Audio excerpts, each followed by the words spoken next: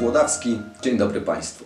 Podczas dzisiejszej nadzwyczajnej sesji Rady Miasta burmistrz zapowiedział, iż w odpowiedzi na zapotrzebowanie OSP Włodawa jest w planach budowa Włodawskiego Centrum Ratownictwa, które reagowałoby na bieżące potrzeby mieszkańców.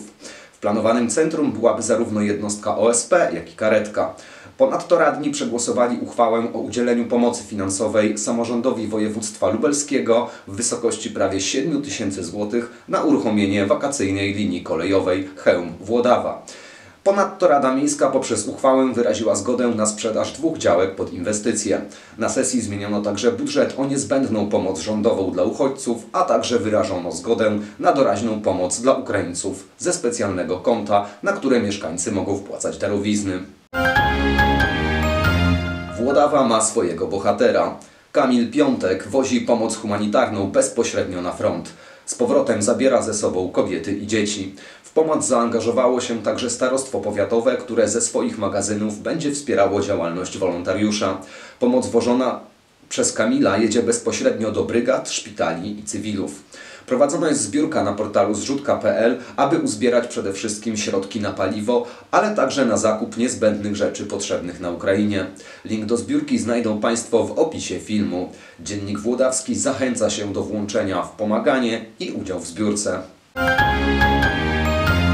Stowarzyszenie Miłośników Ziemi Hańskiej ponownie zostało beneficjentem programu Narodowego Centrum Kultury Etnopolska 2022.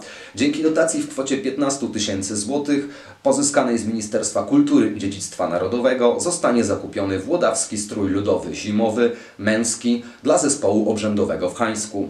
Zespół obrzędowy z Hańska działa już 32 lata, prezentując widowiska obrzędowe, podczas których odtwarza się dawne obrzędy i zwyczaje z okolic Hańska, sceny z życia dawnej wsi. Posługuje się oryginalnymi rekwizytami, miejscową gwarą, to również powinien posiadać odpowiedni strój zgodny z regionem. Całkowity koszt zadania wyniesie ponad 17 tysięcy złotych, a czas na realizację stowarzyszenie ma do 17 października.